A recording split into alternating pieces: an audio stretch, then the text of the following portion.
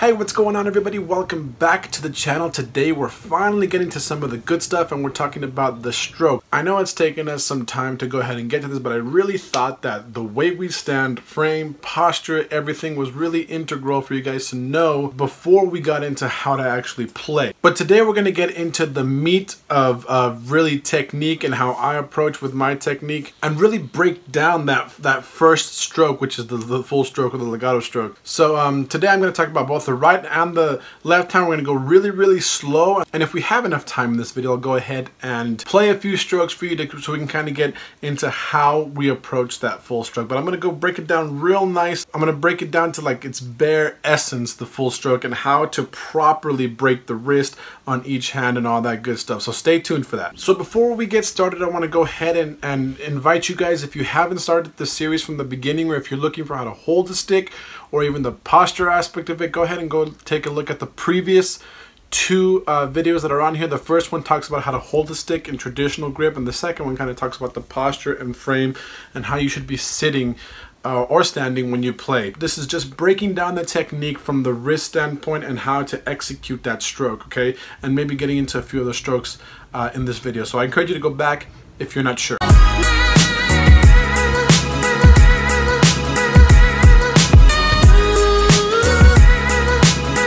Okay, so the first thing that I want to talk about right here, right now, is the right hand stroke and how to break it down from the bottom up. Okay, so a lot of people have certain issues whenever they play with the right hand. The most common issues that I see are um, you know where the wrist is is is kind of uh, at when it comes to this. We talked about this briefly in the last video. And we get sometimes slicing okay? And that what that means is that the stick comes from the right or the left side so you don't get a nice up and down stroke. So we're to kind of address that and how to properly play this uh, right hand stroke. Okay so we talked about the frame a little bit in the last video okay? We talked about uh, where this should be. So if you're not sure go ahead and go check out that video first. But here, okay, we'll, we'll kind of pick up where we left off. So here we, remember we talked about we don't want a break in the wrist, right? This way or that way. That's going to, to contribute to slicing. We'll talk about the components of the stroke here. So for concert band, usually it's all right here, nice and low in the wrist. And the, the grip is even different. But for marching band, we need to get a lot more tone from the drum, a lot more sound out of the drum. So we have to kind of change the way that we play when we're on the field just a little bit to get more beef out of the drum.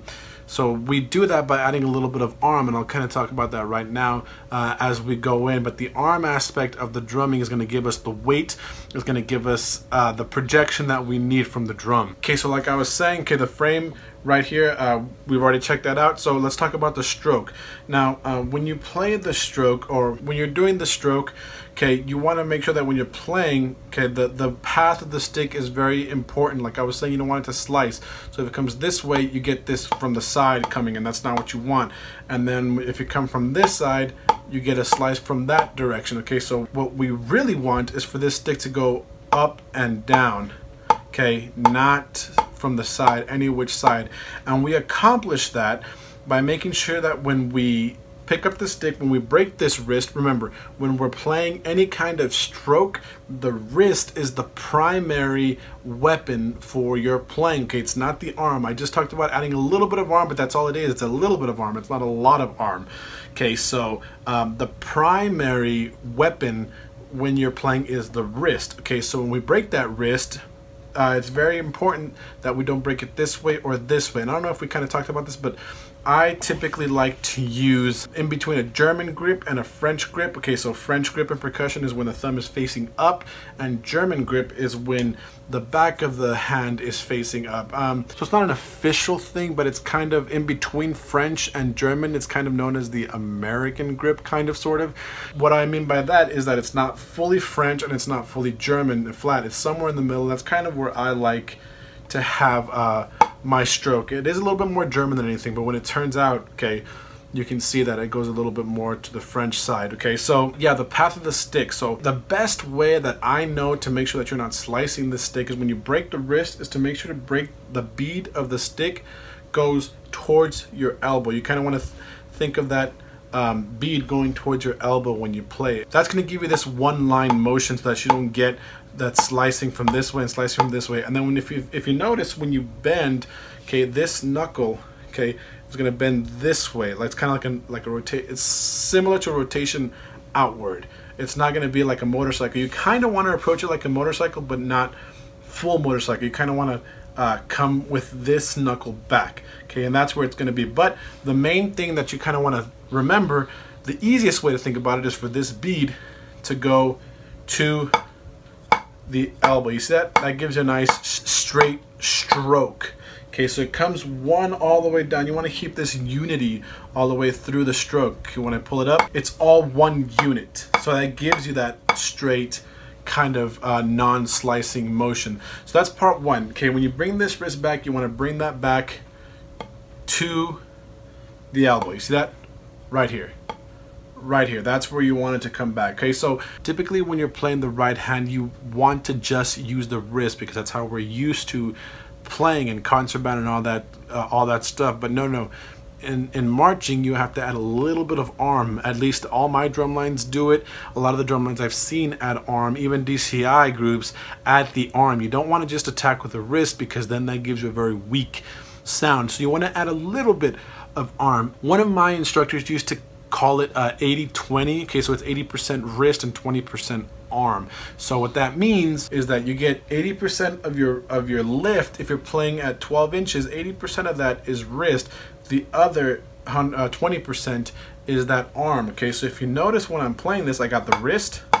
That's pure wrist, and then as soon as I add the arm, I got a little bit of arm. I know it's kind of hard to see, but if you notice, my arm is going uh, up and down right here. That's typically what you're getting right here, okay, when you're playing this right here. So it's just, you got wrist only, and then you add a little bit of arm to it, okay, that's that 80-20. That's basically the right hand right there, okay, so remember when you break the wrist, it comes back to the elbow, okay, that's where you want to hit it at, okay.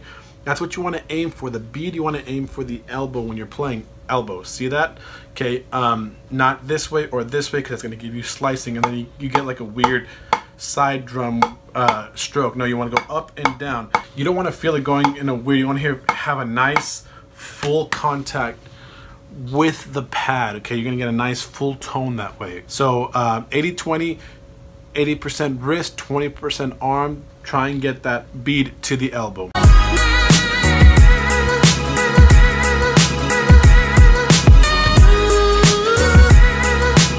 Okay, so this is a little strange, but now I want to talk about that left hand and how to approach the stroke from the left hand. Okay, so the right hand we saw that it's a, a, a wrist, okay, towards here.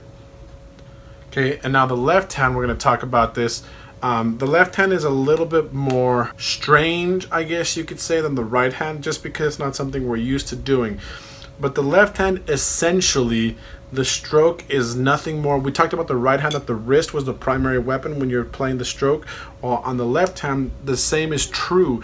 The wrist right here is the primary weapon in the stroke, except instead of going like this for the left hand, unless you're a, a tenor player, you're going to go like this. It's straight rotation of, if you look at it from the front, okay, and you're here, this is set position, it's all rotation of the wrist. Okay, that is your primary uh, weapon right here in the left hand. And it's just like if you're turning the doorknob or you're turning a doorknob a doorknob to your house a doorknob to anywhere okay that's just exactly what you're doing. You just rotate that wrist over okay you see that?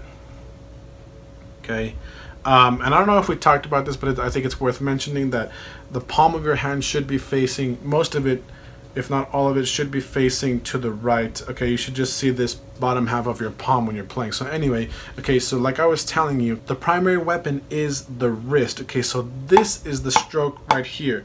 Uh, there's really no trick to making sure that you're not getting uh, a slice from this hand except to just kind of eyeball this okay? So if if you're following this one plane here okay you want to make sure that that arc stays on that plane. So if you look right here Okay, I'm gonna try my best to kind of show you this. This arc should be, uh, I'm not doing a very good job there, but it should be uh, one line, okay? So one line this way when you're playing, you wanna make sure that this would go towards, you know, the butt of the stick. And that's kind of how you know that you're getting a nice uh, stroke out of this left hand, okay? So you don't want it to come this way away or that way away from the butt of the stick. You want the bead to go towards the butt of the stick. And that's kind of how you can see. So the rotation comes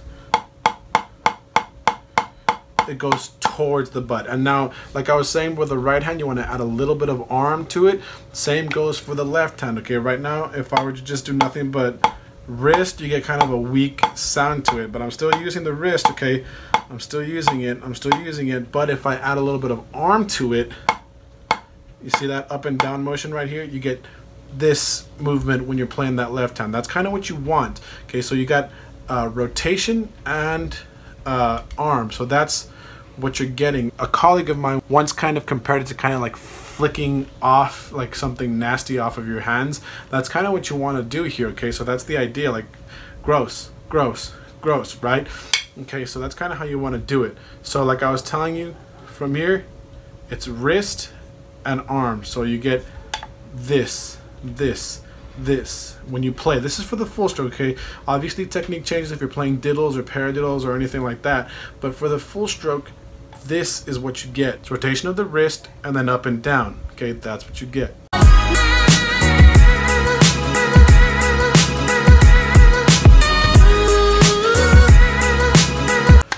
And uh, I think that'll be it for this video just because in the next video we're going to continue talking about the full stroke and I'm going to give you guys some exercises and precision. It's also going to help you kind of uh, lock in this motion. For now, practice that motion okay, that we talked about on the right hand and the left hand. Just to recap, when you're playing the right hand, okay, the bead goes to your elbow. Okay, don't forget that. Here it goes to your elbow. I know it's kind of hard to see that, but right here, okay, you can kind of see that there.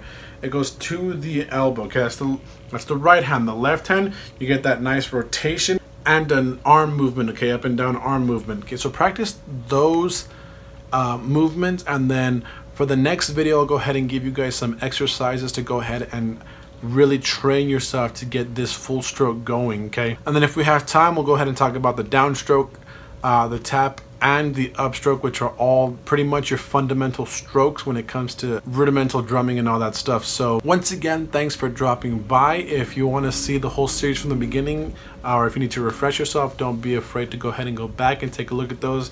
Take a look at the grip, uh, take a look at the frame, and then of course in this video, the actual mechanics of the stroke.